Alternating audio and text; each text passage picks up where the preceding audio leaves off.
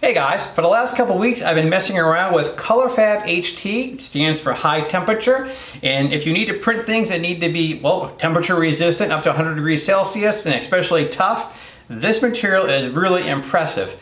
Um, I went through a lot of test prints and a lot of tinkering to get it to print well on my Ultimaker 2 Plus. Let me share that with you. Are you ready? Let's do this.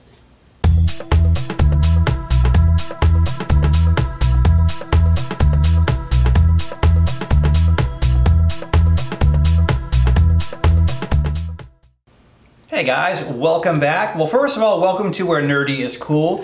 My name is Paul. This is my YouTube channel where I cover all my many fun, well, interesting projects. 3D printing, BB-8 building, R2-D2 building, I could go on and on, but you get the idea. If this is your first time here, welcome. I encourage you to become a subscriber, hit the button in the corner and become one.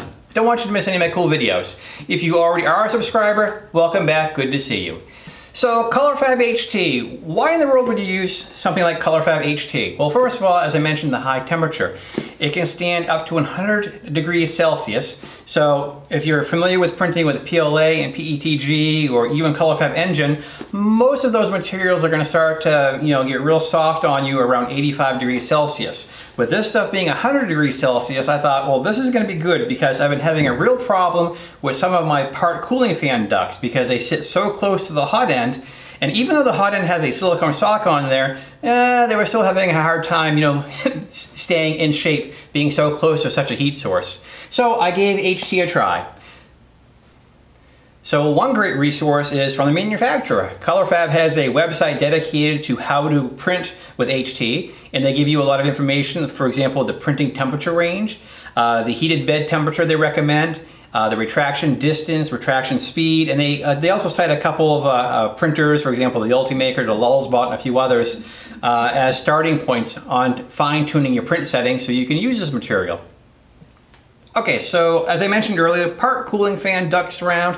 Uh, that's what I wanted to print with this stuff because the project I'm working on, I have an E3D V6 setup and I wanted to make sure that if I'm printing this guy out in the right material, I don't have to worry about this thing falling apart or getting soft in the future. So that was the goal. And the first print came out pretty good. There was a little bit of stringing and there was a couple thoughts that went through my mind. I could leave well enough alone, use the heat gun, and that would melt away those little tiny strings. I mean, just like PETG or any other copolyester, this would be considered normal and an excellent print but I wanted to see if I could do a little bit better. So what I did is I increased the retraction distance a little bit, did the print again, and even though a lot of the strings went away, there were a few there that were still present. And again, using the heat gun, this will all go away and look perfectly fine, but I was up for the challenge. So having done those two prints, I felt like, okay, I think I got this material pretty well dialed in. Why not do a Benchy? So I did a Benchy and for reference, what I was doing is I was printing the first layer at 257C and then the second layer beyond that was gonna be 255 and the heated bed was at 110 degrees Celsius. And the first print, as you can see, it looks like at first glance that it came out really well. It did a really good job of bridging. And as I started to look at the print, I started to realize that this looks a tad bit over extruded. Not much, but I mean, still really good. So I did the extrusion multiplier at a lower temperature. I did it at 251 Celsius.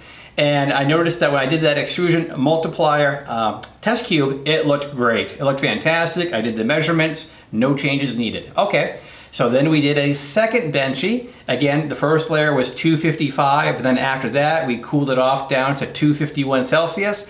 And as you can see, it came out really, really good. I mean, if anything, it's so good you can see the salmon skin effect from the Ultimaker 2 uh, Allegro drivers. I mean, that printer came out in 2013. Those drivers are six years old, so you just have to live with that.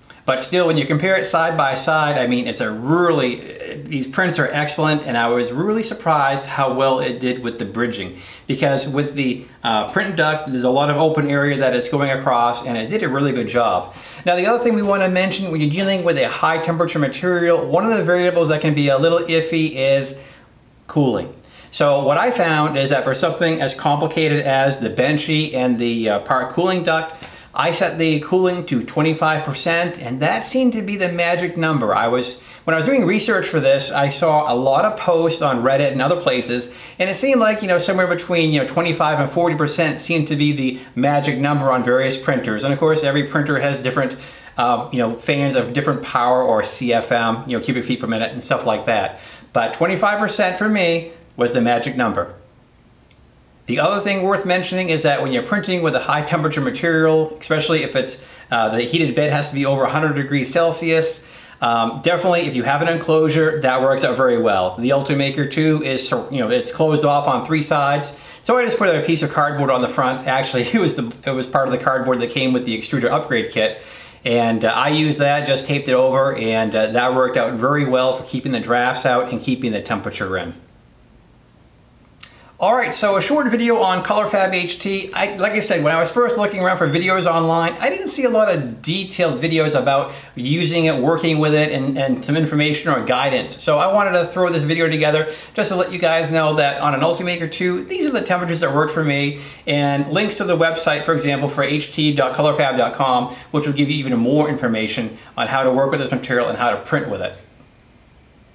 So let me know what you think of the video in the comment section below. I love your feedback. You can also reach out to me on social media, on Facebook, where Nerdy is Cool, Instagram, where Nerdy is Cool, on Twitter, where Nerdy Cool, had to abbreviate to fit, and of course, where nerdy is nerdyiscool.com. As always, I thank you guys for watching. If you want to help me and my channel out, there are two ways you can do so. In the description below, there's a link for the PayPal link. And what you can do is you can click on that and throw me a donation. And hey, that helps me with the supplies and materials, cameras, and well, all this neat stuff you see in the background. Or if you want to become a Patreon, well, I'm on there too. Patreon.com forward slash where nerdy is cool. I thank you guys for watching. I appreciate your feedback, your support, and, well, until next time, as always, remember, this is where nerdy is cool. Stay nerdy, guys. Perfect. Between the cats and me not talking, this is going very well. On the ColorFabb website, they have learned, uh, uh, I can't even think what they call it.